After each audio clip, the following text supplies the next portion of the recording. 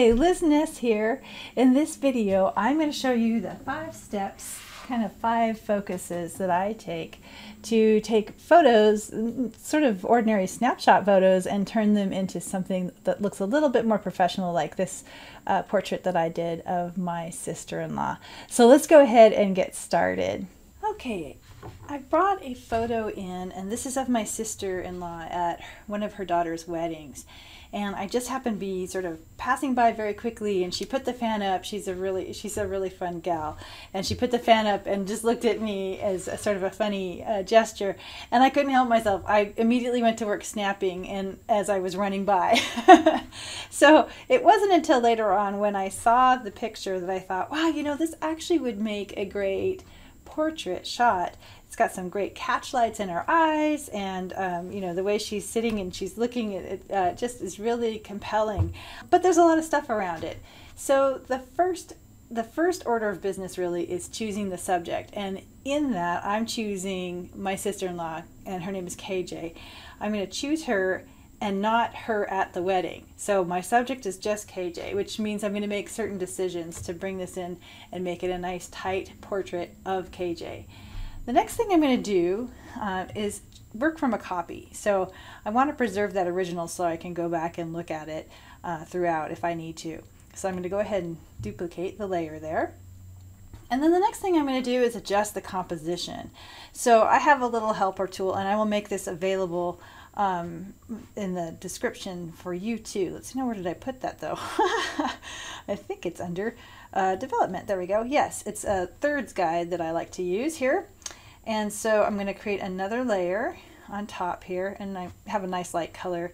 That'll work just fine. Um, and okay, so let's see, let's dial this. Probably about that. That's about the good size there. So I'm just going to tap in there and now I'm going to go ahead and select my transform tool. I'm going to rotate twice and then I'm going to select freeform here and I'm just going to play around with this grid a little bit so that I can really see what I've got going on here. I want to keep her eyes centered because I want this to be a very calm sort of picture in, but really focused in on her as a subject. Um, let's see here. And I kind of want to preserve some of the height of this picture, definitely where her head is. So something like that, maybe. Um, let's see, and maybe, actually, maybe bring this in just a little bit. Don't want to cut off her hand because I don't you know, want to have any dismembered parts there. okay, that kind of looks good for a composition. I kind of want to bring it in like that. Um, and so I'm going to cut off some of the bottom here, but just really kind of focus in. I, I want to keep her hand, but I'm going to actually uh, downplay that later on when I deal with light. Okay, so that, that looks good for, um, for where I want, how I want to crop this. So once I'm satisfied with the position of the thirds, I'm going to turn off the transform. And now I'm going to go over and tap the wrench and canvas and crop and resize. And then what I'm going to do is drag the edge of the picture here, which is really the crop, the crop lines, and match that up corner to corner with my um, thirds guide that I've been using. Okay, something like that. Okay, that looks about right. So when you're satisfied with that, you can just go ahead and tap done. Okay, and now my canvas is cropped the way I want it to be. So I'm, I'm just going to go ahead and discard by deleting that uh, third helper tool that I just was using. For our next step, we're going to dial in the focus. We're going to make some color and light manipulations so that that just really kind of sends our attention towards KJ's eyes. And we're also going to be re removing distractions specifically in the background and some, making some corrections in the foreground so that anything that might pull our eye away from what we, where we want the eye to go, we're going to get rid of. Okay, the next thing I'm going to do is uh, start masking out what I don't want, but I want to have black behind it. So I'm going to go ahead and select that first layer. I'm going to add a new layer, and then I'm going to go select black. And then I'm just going to drop it in there. And then I'm going to come up to this top layer here, and I'm going to tap it, and I'm going to select mask. I'm going to change the color of my pen here to black. And then I'm going to go and select um, one of the brushes that comes with under airbrush. I'm just going to select that soft brush and I'm going to dial it up just a little bit to get started. And then I just want to make sure that my layer mask is selected and it is. And so then I'm just going to start uh, kind of basically I'm painting out the background of my picture with, through the mask and then um, revealing the black that's underneath it. Um, and so I'm just going to do this and you can keep uh, using black to hide and white to reveal in this case. So, okay, and I'm going to, of course, make the, the brush a little smaller and get a little bit more refined in just a moment. But I like to take some big swags here at first. Okay, now we're going to bring this brush down a little bit and we're going to get a little bit more careful here. Okay. Okay, and if you make a mistake, let's go ahead and make this a little bit larger so you can see what's going on here. But if you make mistakes, all you have to do is tap the color and go back to white, and then that basically hides um, the background, reveals the foreground again. So we're white reveals and black is hiding.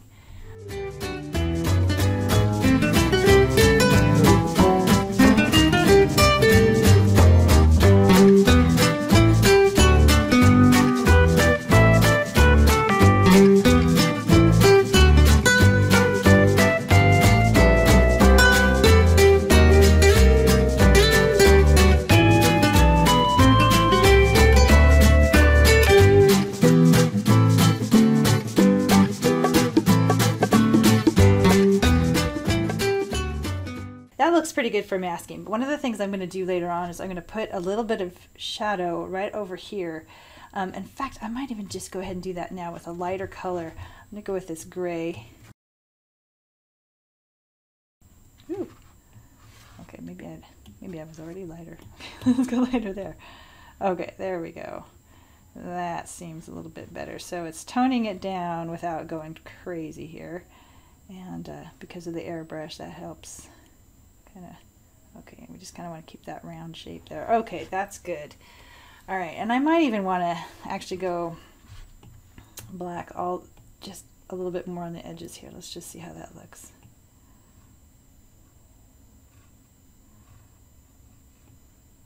There we go. Okay, so that kind of helps create an illusion. You know that there's something back there, but it kind of creates this illusion of of more narrowness. So that actually looks a little bit more realistic and a little less obvious. It doesn't draw our eye there because we don't really want our eye to be drawn there. We want our eye to be drawn to her specifically. Okay, that looks pretty good. We're we're we're getting through this. Um, one of the next things that I need to do um, is uh, so we're dialing in the focus and we've just removed some distractions and we've played a little bit with the light here. Um, the next thing I want to look at is color. So right in here, this fan is actually pretty thin and you can sort of see through it so you can see the shoulder but I don't want that. I, I want to get rid of that effect. So what I'm going to do is I'm just going to let's see I want to make sure that I have that layer selected um, and then I'm going to take this little smudge tool and I'm going to smudge down the colors. Let's see how I want to make this pretty small. Actually I think I want to change my pen here and I am going to go uh, let's see where's calligraphy? There it is. I'm just going to use the monoline and I actually go pretty small here and Ooh, that's too small. Okay, so, oh, and that's, I'm actually, I, I don't want that, I want smudge. So if I hold it down, I'll get the same brush that I just had, so that should be the monoline. Great, okay. So there we go. So I want to drag down the color that's already there and pull it down.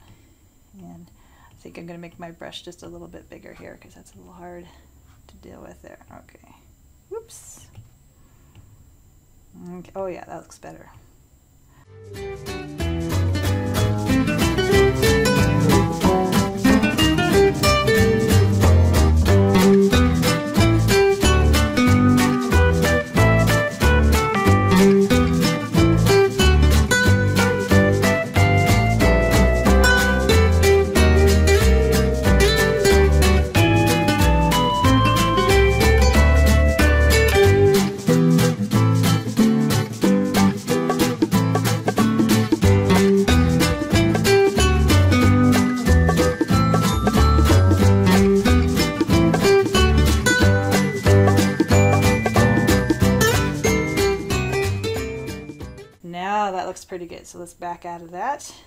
Take a look.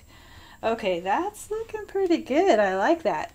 Okay, so um, we've done some color corrections. We've uh, We've done some light corrections, made it a little bit darker over here so our eye wasn't just immediately pulled to that. And, um, and we're kind of ready now, I think, to go ahead and make the final color adjustment, which has to do with, I, am going to go ahead and create a, um, actually I'm going to go ahead and mix these, I'm going to merge all of these together. So I'm going to tap them, oops, sorry, tap this layer, and I'm going to go ahead and merge down, and then I'm going to create a copy.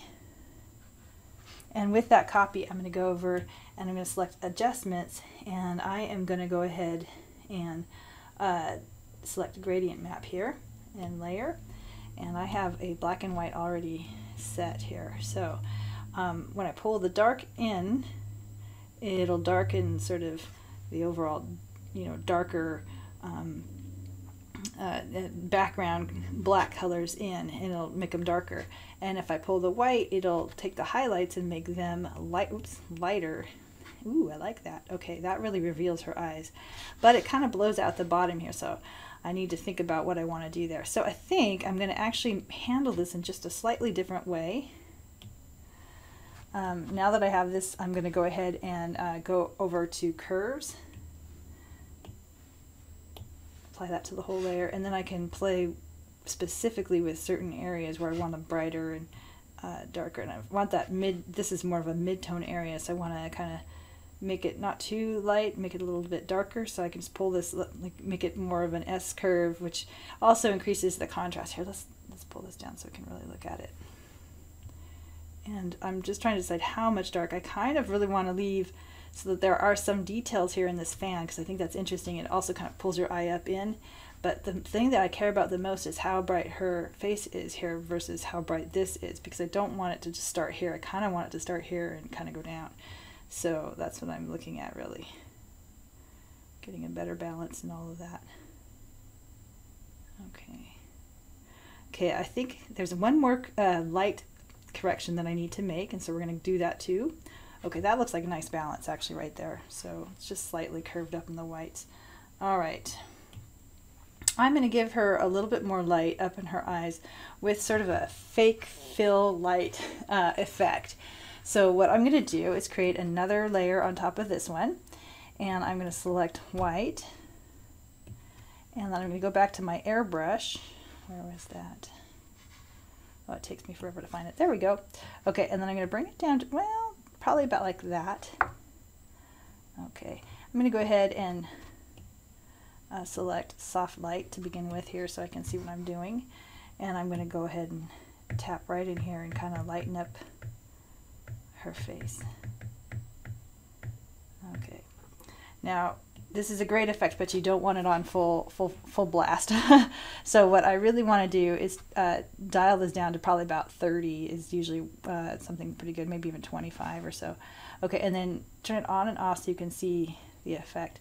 So what it does is it kind of takes away some of the contrast of her of her eyes there. So you have to be really careful with this effect. Um, I'm also going to try hard light instead tried a couple different ones. Overlay maybe. Oh, there we go. Okay, overlay is a better choice here because uh, uh, it doesn't mess with the contrast so much and it helps lighten it without messing with the contrast. Which, ooh, I really like that. That really pulls you into her eyes, which is really cool. So I'm still thinking though that I might like it just a little bit darker down here where the fan is. So again, I can really direct the attention right to my subject where I want want it to be. So I'm going to create another layer and I'm going to go with black this time same airbrush that we've been using. I'm going to dial that way up though. And then I'm going to go ahead and kind of darken in here. I don't want it to be too dark. I mean, we're going to dial this down too. But I kind of want to see how this will play out a little bit. So, most of the fan, and then of course everything underneath here. Okay, so now Let's start with uh, multiply and then dial this down a bit. Okay, I'm actually thinking this is probably going to be better as either an overlay or a hard light. Well, maybe soft light. Okay, also, once again, that looks, actually that looks pretty good, but it's not quite giving me the darker that I want right there, so I'm kind of thinking what other, hmm,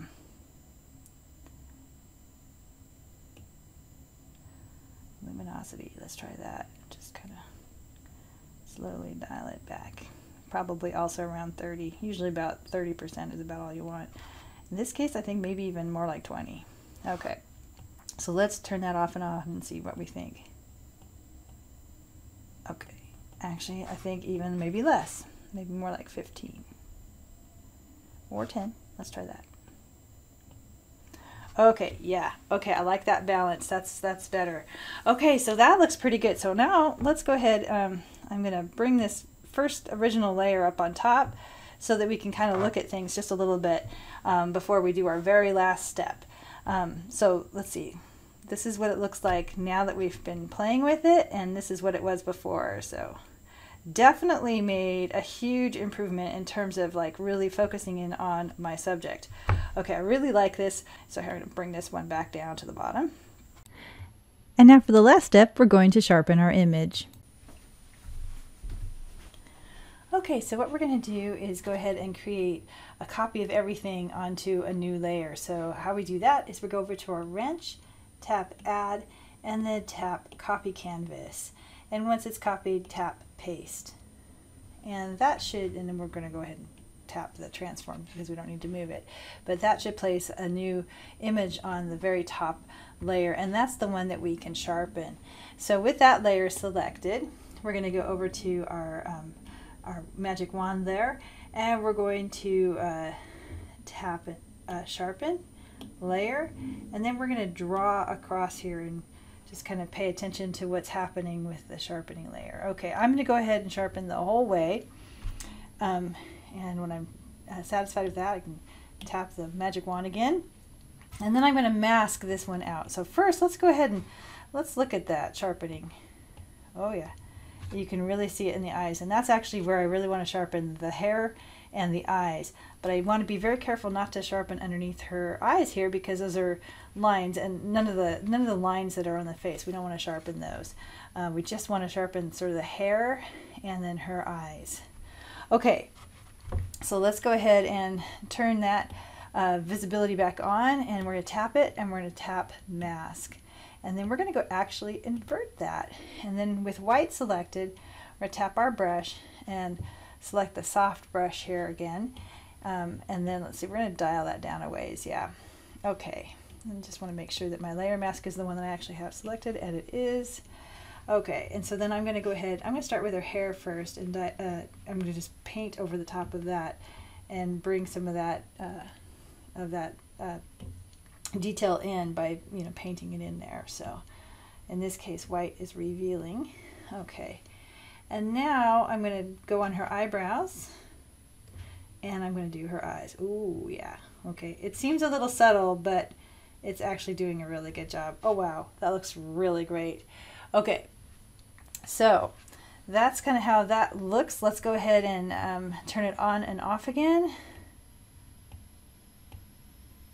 It's really subtle. um, okay, let's see. Let me make this bigger so that you can see what's going on here. Okay, that's on and off. You can see it's very blurry, very clear. I really like that. I think it looks really good. Uh, yep, I think that looks really good. So when you're satisfied, then you can just save your image and, and you're good to go. So thanks very much for watching this video. And if you liked it, please be sure to like the video and also subscribe to the channel and ring that bell so you get notified when new videos become available. Uh, meanwhile, I hope you have a great time trying out these uh, tips that I shared today, and I hope your day is amazing.